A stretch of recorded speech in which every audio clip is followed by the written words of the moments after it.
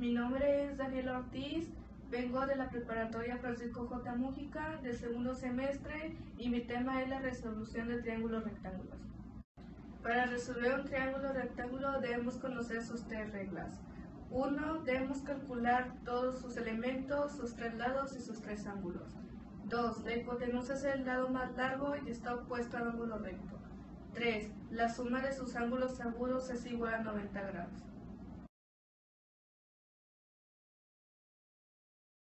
Para obtener el ángulo faltante debemos restar 90 menos 32 y nos da 58 grados.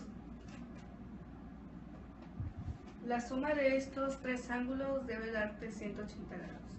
Ahora para sacar el cateto debemos usar las funciones trigonométricas, que en este caso es la tangente.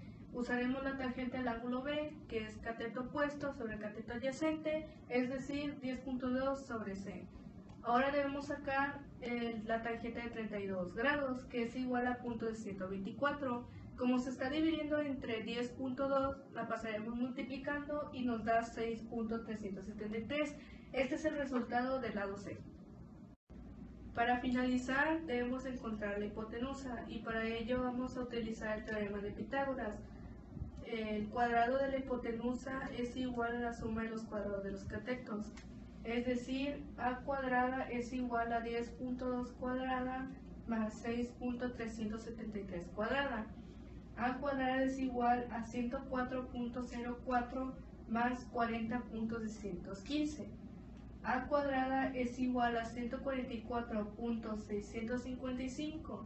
A es igual a raíz cuadrada de 144.655 y A es igual a 12.27. Este es el resultado de la hipotenusa.